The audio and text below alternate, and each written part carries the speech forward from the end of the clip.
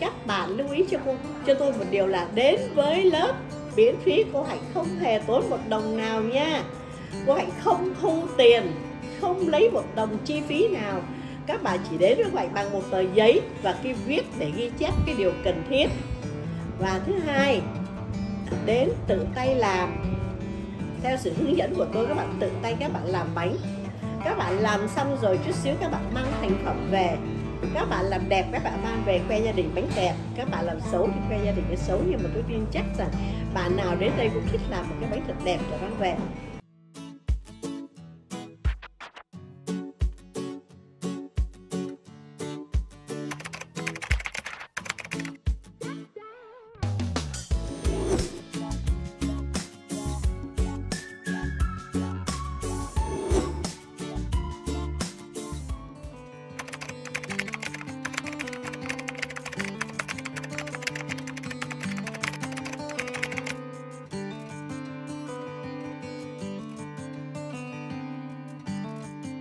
thì tôi mở ra những cái lớp bánh.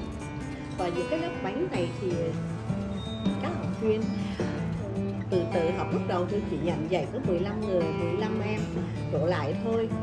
Rồi sau từ từ cái lớp nguyên là càng ngày càng cao, càng đông. Và bây giờ thì hiện tại à, tôi mở cho đến hôm nay là hơn 10 năm, mình cũng phải nói là mở gần 15 năm thì đúng rồi. Thành phần gồm có nhiều lắm, sinh viên có, học sinh có các bà nội trợ có bác sĩ có kỹ sư có luật sư có không phân biệt tuổi tác không phân biệt trình độ các bạn nào thích yêu cái ngày làm bánh thì đều đến tìm đến lớp học miễn phí của tôi. Mùa nào thích có bánh mùa trung thu có bánh trung thu mùa noel thì có bánh sinh nhật bánh à, uh, cúc cây rồi mùa tết thì có một số bánh tết.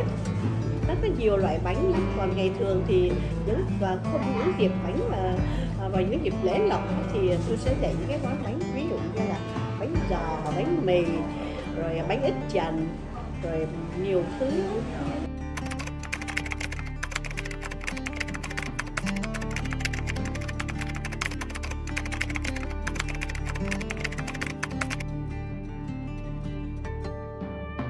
Để chuẩn bị một cái lớp như thế này thì tôi phải chuẩn bị trước một hai ngày. Có những món ừ, hơi cầu kỳ và làm lâu thì tôi phải chuẩn bị ngày hôm qua. Ví dụ hôm nay tôi dạy bánh giò, tôi phải chuẩn bị nhân bánh giò xong xuôi hết rồi. Các bạn đến, các bạn nhìn thấy, thí dụ đây nha, là một tô nhân rất là ngon thơm.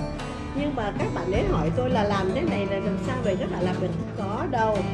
Tôi đã in bài sẵn cho các bạn, chỉ rất cụ thể. Đây, ví dụ những cái bài in như thế này đây. Cách làm như thế nào, rất chi tiết, những cái chỗ nào cần nhấn mạnh tôi đã in những chữ rất đậm và gạch dưới ha thì sau đó thì tôi sẽ hướng dẫn lại một lần nữa bằng miệng và các bạn về làm đều được hết. Vui lắm khi các bạn về. Cô ơi mùa trung thu này chúng con làm được nhiều bánh lắm con làm được thu, được thu nhập tuần này. Và trong cái thu nhập đó con đã trích được một số tiền để con mua được cái lò nướng như thế này đây. Là con nhờ cô mà con có thêm thu nhập trong gia đình mùa này. Hoặc là có những bạn nhắn tin cô ơi con vừa làm xong được 300 con heo 300 cái bánh để mà con đi từ thiện ở vùng Ninh Thuận những cái đó là một cái chi phí vô giá đối với tôi.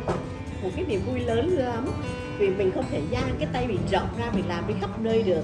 Thì các bạn đó đã thay tôi làm những cái bánh đó để mang đi từ thiện cho các em vùng sâu, vùng xa.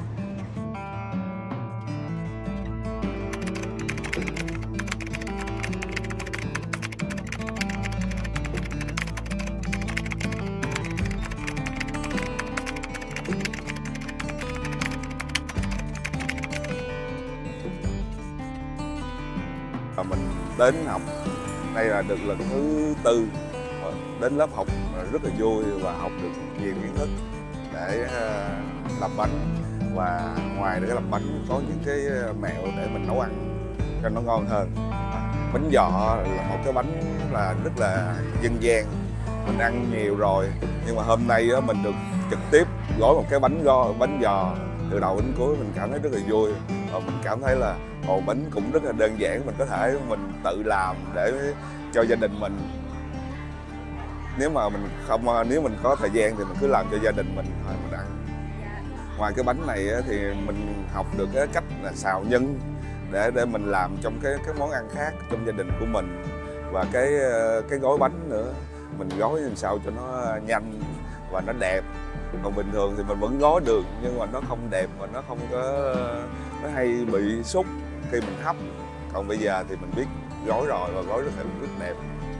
Về nấu ăn và học làm bánh đó, thì mình cảm thấy là mình kết nối được với cái ờ, đặc biệt nhất là gia đình nhỏ của mình. Ví dụ như là vợ vợ mình và con mình. Và vợ mình có thể là phụ mình và con mình sẽ làm chung với mình dẫn đến một cái không khí gia đình nó vui vẻ hơn.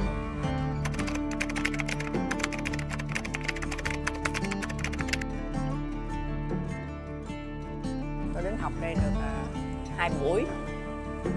À, buổi đầu tiên đó là học mà bánh bông lan trứng muối và bánh à, mì nhân xúc xích.